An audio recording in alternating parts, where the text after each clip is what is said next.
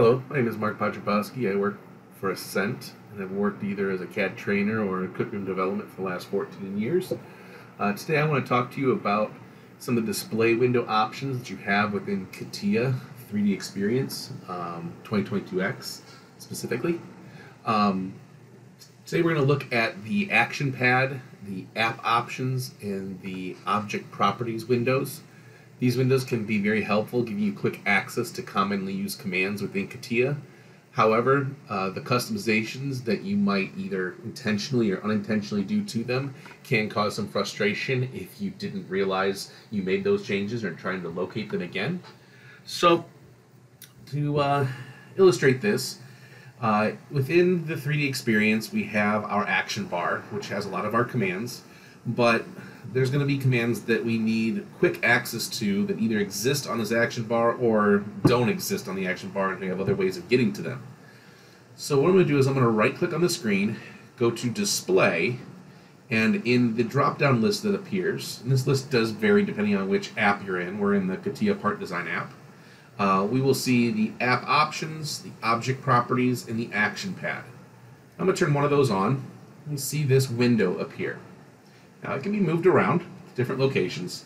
And in fact, if you have multiple screens, you can move it off this screen onto a different screen uh, so that you can save space for your actual modeling, which is kind of handy.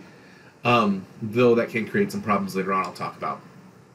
Now, this action or app options window gives us some tools for being able to uh, customize filters for selection filters, for being able to customize what's being displayed and uh, kind of add-ons to some of the commands we're doing here, like creating datums um, or defining something as the in-work object.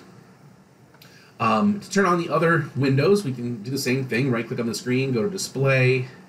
I'm going to go to Object Properties. This one uh, gives you the properties generally related to an object. So if I selected a surface, I could change its color. Uh, I could change the line thickness or the transparency, uh, just depending on what type of object you choose. So if I chose this plane, I can come over here and choose a color. We'll make it red, so it shows up red for us. Uh, this surface, I'll make it a different color. Let's make it purple. Um, and those are the same options you would normally get if you right-clicked and went to Properties and went to the Graphic tab. You'd be able to change it and reset those values to something else. Uh, third option, right-click display, is going to be the action pad. This is kind of a, a list of uh, commonly used functions that are found in the action pads. Instead of having to go to the action, uh, the action bar to find these objects, we can go to the action pad instead uh, and have quick access to them. But as you see here, this takes up quite a bit of space. You can move them around, but it takes up a good amount of real estate on your screen, which I want to be able to use for my model. One thing we can do is we can take these uh, windows and stack them on top of one another. When you stack them on top of one another, now we have little tabs at the top to be able to pick which one we want quick access to and be able to perform those functions. Okay, now we can move the whole thing around if we need. And you can dock them to different locations. So here it's docked to the side. If I pull that away, which it wants to be locked up there now, so I'll pull all three of them away separately. Here they're docking side by side.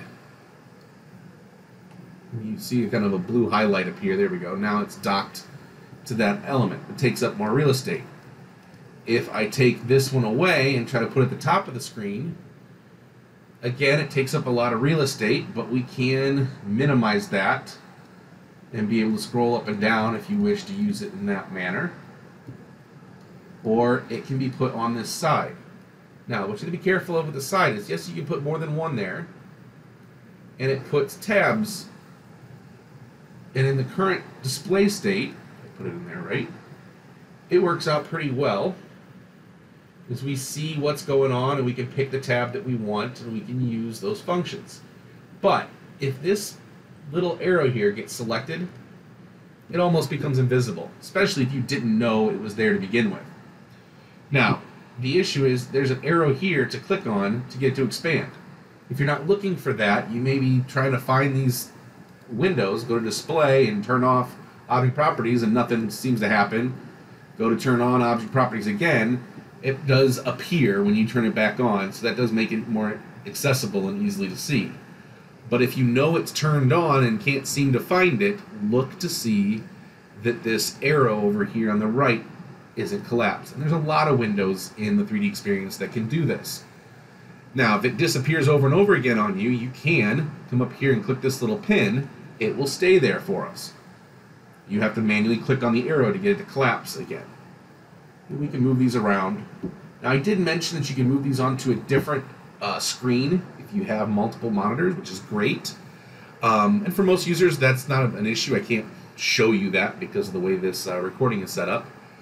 But one thing to be aware of is if you move them to a separate screen, and then let's say you have a laptop that you disconnect from those other screens. Um, when you go to fire up the 3D experience again, these windows that are on a separate screen can still be placed out there on that separate screen, even though you're no longer connected to a second monitor. So you won't be able to find them because they're off your current screen. Uh, with that, we can restore their positions of our settings to be able to get them to come back. But uh, the easiest thing to do would be to connect your monitors up and make sure that before you disconnect them, move these windows onto the main screen that uh, would be available if you find yourself connecting, disconnecting from your monitors a lot. If you don't find yourself in that scenario, it wouldn't be an issue. Okay. Um, but mostly the action pad is customizable. If I right click in here and go to customize mode, I can add commands to it while these other windows are pretty much what you see is what you get. Um, and you can use this one again for selection filters and for uh, add-ons to the commands you already have. This one is for object properties. Hope that helps.